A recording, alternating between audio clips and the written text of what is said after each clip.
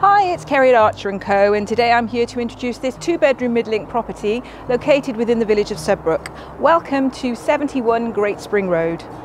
Both Sudbrook and its neighbouring village of Portskewett offer a range of local amenities to include a well-respected primary school, doctor's surgery and pharmacy, village shop, church and public house. The villages are nestled between the larger towns of Caldicot and Chepstow, both of which provide a wider range of amenities to include secondary schooling, leisure facilities, access to public transport and links to the M4 motorway network. The area is renowned for its natural beauty and the coastal path is close by, along with the beautiful grounds of Caldicot Castle and Country Park. This Midlink property was constructed by Redrow Homes just over two years ago and benefits the remainder of its NHBC certificate. The property offers accommodation over two floors and is entered via a reception hall. There is a modern cloakroom located off this hallway, which is fitted with a two-piece suite.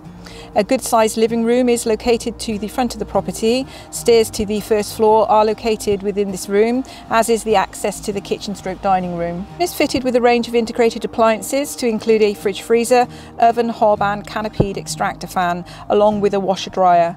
There is room to accommodate a dining table within the kitchen and there is access to the rear garden via French doors.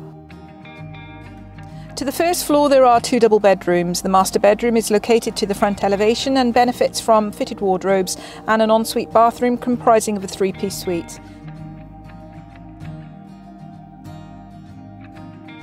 Bedroom 2 is also a double room with an additional ensuite shower room, again fitted with a three-piece suite.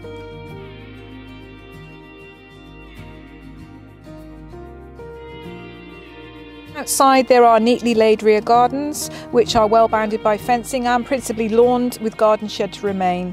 There is a useful side pedestrian access. Two allocated parking spaces are located to the front elevation.